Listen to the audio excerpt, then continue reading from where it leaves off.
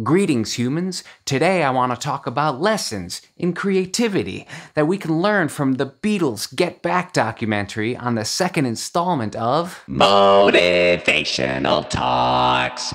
Hey, you. Yes, you. Have you watched the Get Back documentary yet? Look, I know that there are a thousand streaming services these days, and that the exact thing we were trying to avoid with traditional cable TV has now manifested into multiple platforms and expenses. But find a way to bribe a friend or a family member for access to Disney Plus and watch this thing. I'm not exactly sure how the general public are perceiving Get Back, but let me assure you that it is a rare glimpse into how the creative sausage is made. This video is not a synopsis of the documentary, but having digested it recently, I have to share my thoughts on three lessons in creativity that can be gleaned from it, starting with number one. Nothing substitutes time. There's a common myth that creative works come to the artist like a bolt of lightning, and from this electrified inspiration pours the masterpiece. Well, I hate to burst your bubble, but that's not usually how it works. Whether it's during the refinement process or coming up with the initial idea, creativity itself is a grind. Getting back to Get Back. Obviously, the Beatles had gigantic financial backing to afford time. Time is money. These dudes showed up to work most of the time to just refine and flesh out the seed of an idea someone else's composition, and more rarely to pull one out of the ether. Paul McCartney willing the song Get Back into existence is fascinating.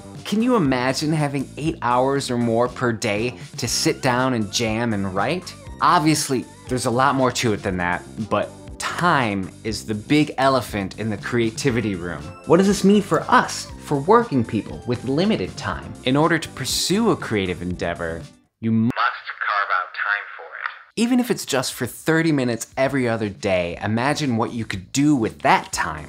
With this time, just simply turn off your phone, remove distractions as best as you can, and create something. Better yet, if you have a collaborator, carve out a four hour block, maybe on the weekend, and do the exact same thing with that person. Now, to me, it's pretty funny, and not unlike reality TV, that one of the main points of conflict in the documentary is the arbitrary time crunch the leading to a performance date. But at the same instance, with the pressure of time bearing down, we witness long sessions of what seems like goofing off and and mucking around, which brings me to the second lesson, the power of play. Need I say more? Okay, I will. According to psychological studies that I am pulling out of my ass, here are some of the benefits of playing around.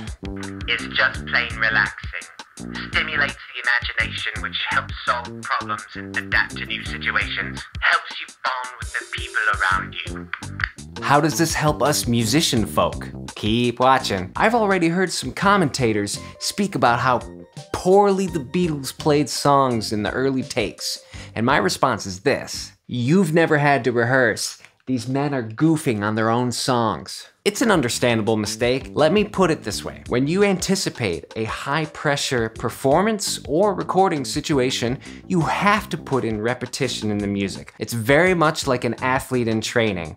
I was told a long time ago that musicians are small muscle athletes. but you have to put in the repetition, and I've seen this done two basic ways. The militant way, rehearsing note for note until your soul leaves your body and all that's left is an empty vessel that can perform.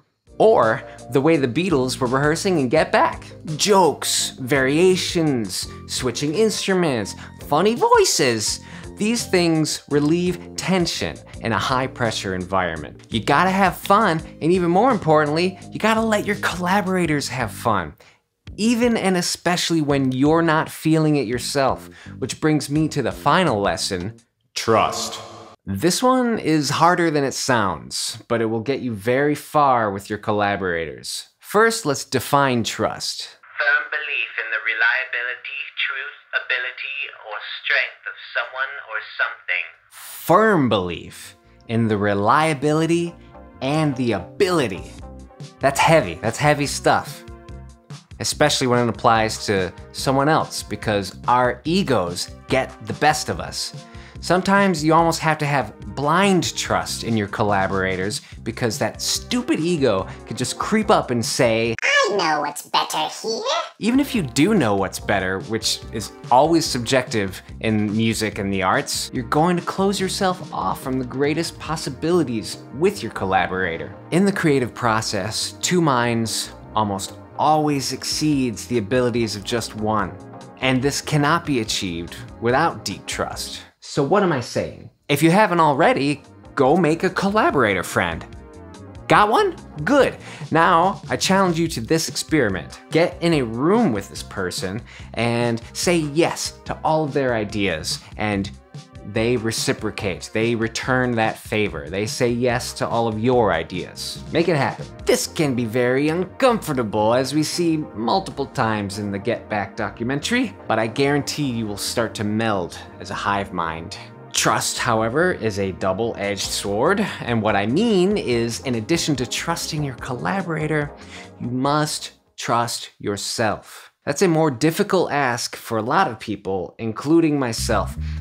But I can say if you practice with a good collaborator, a reciprocal effect will take place, and that is when some good magic can happen. This is a complex documentary.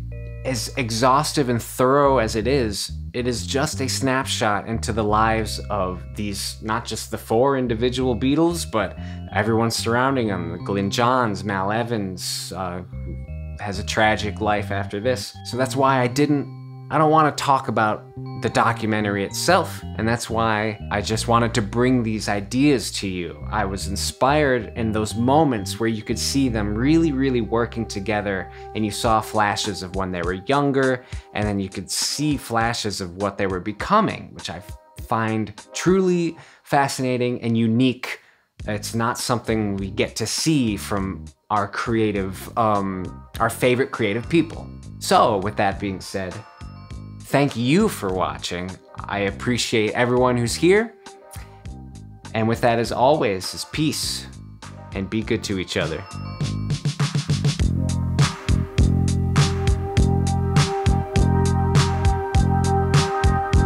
We're gonna get new non squeaky chairs in here at some point. Motivational talk.